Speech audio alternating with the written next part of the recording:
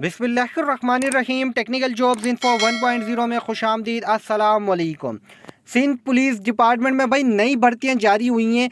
2023 की जो मुख्तलिफ़ प्रोजेक्ट्स में तकरीबन तकरीबन सात बड़ी भर्तियाँ हैं और एक साथ हैं ये। भाई, ये सात बड़ी भर्तियाँ कौन सी हैं? ये भी स्टेप बाय स्टेप आपको बता देता हूँ। और आप लोगों को आगे की मजीद मालूम जो मैंने डॉक्यूमेंट के हवाले से बतानी है, जो उम्मीदवार अप्लाई कर रहे हैं या कर चुके हैं, उनको। भाई, ये गलती नहीं करनी है। आप लोगों ने वीडियो पूरी देख लेनी है। अगर वीडियो पूरी देख लेंगे तो आप लोगों को अगर आगे किसी भी किस्म का कोई मसला आता है तो आपको ये डॉक्यूमेंट ज़रूर काम आएँगे और आप बोलेंगे मुझे, याद करेंगे कि भाई ये बात सही बताई थी सर आपने कि ये हमको इससे फ़ायदा हुआ है। तो चैनल पे नए हैं तो चैनल करें सब्सक्राइब ताकि आप लोगों को तो वक्ता फ़वक्ता मज़ीद आगे की अपडेट्स भी बासानी पहुँच सके। सबसे पहले भाई सात बड़ी भर्तियाँ हैं। Number one driver police constable है। Number two women minority quota है। उसके बाद जो है वुमेन की भर्तियाँ हैं। उसके बाद माइनॉरिटी नॉन मुस्लिम है। उसके बाद जो है बीडीसी बम डिस्पोजल केडर की भर्तियाँ हैं। उसी के साथ साथ एस की भर्तियाँ हैं।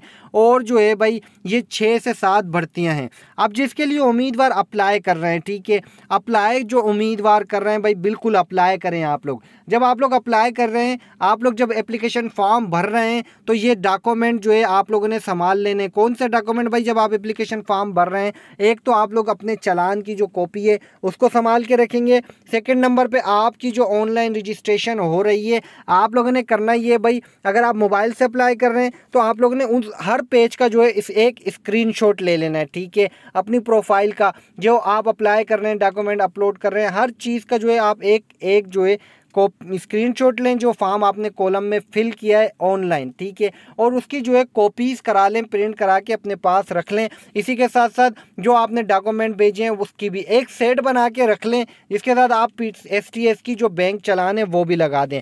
अच्छा अब इसका मामला क्या है? ये बताने का मकसद क्या है? भाई, ज़रूरी मालूम ये है, इसके अंदर फ़ायदा आपका ये है कि जब आप लोगों का फॉर्म अल्लाह ना करे, अल्लाह ना करे, आप फ़ीस जमा करा देते हैं, सब कुछ करा देते हैं। जब at the time at the end end जब आपका टाइम आता है, आपके फ़िज़िकल का या रिटर्न टेस्ट का जो भी होगा तो अगर आपको रिजेक्ट कर दिया जाता है तो उसके ऊपर लिखा हुआ आएगा रीज़न कि इस रीज़न की वजह से आपको रिजेक्ट किया जा रहा है। लेकिन जब आप अपनी कॉपीज़ जब आपके पास होंगी, आपके पास रिकॉर्ड होगा तो आप चेक करेंगे उसके अंदर, भाई, ये रीज़न ये रीज़न आया, ये रीज़न मेरे साथ सही सही रीज़न पे मुझे, आई, मेरा एप्लीकेशन फॉर्म कैंसिल किया है इन एलिजिबल किया है मुझे, या फिर ये इलीगल है, या फिर मेरे साथ गलत हो रहा है, मेरी फ़ीस ज़ाया हो रही है। तो आप, अगर आपके पास डॉक्यूमेंट होंगे तो फिर आप क्लेम कर सकेंगे भाई। और क्लेम करने के लिए पहले पीटीएस भी क्लेम करता था, और मैंने ये चीज़ें पीटीएस की तरफ़ भी बताई थी उम्मीदवारों को, और उसमें पिछले प्रीवियस प्रोजेक्ट में काफ़ी तरह उम्मीदवारों का इन एलिजिबल हुआ था। लेकिन जब उन्होंने यही डॉक्यूमेंट संभाल के क्लेम किए थे तो फिर वो एलिजिबल हो गए थे। तो भाई इसमें आपका ही फ़ायदा ये चीज़ें करें, ये डॉक्यूमेंट संभाल के रखें। अल्लाह ना करे अगर कुछ मामला होते हैं तो आपके पास रिकॉर्ड होगा, सबूत होगा, आप क्लेम करेंगे तो इन आप लोगों के मामला हल भी हो जाएँगे। तो उम्मीद करता हूँ आप लोगों को इन्फॉर्मेशन मिली होगी, ये चीज़ें आप कर लेंगे। चैनल पर रखनी आप लोगों ने नज़र, मजीद न्यू मालूम न्यू अपडेट के साथ आऊँगा दोबारा। जब तक के लिए आप सबसे मैं चाहूँगा इजाज़त, अल्लाह हाफिज़।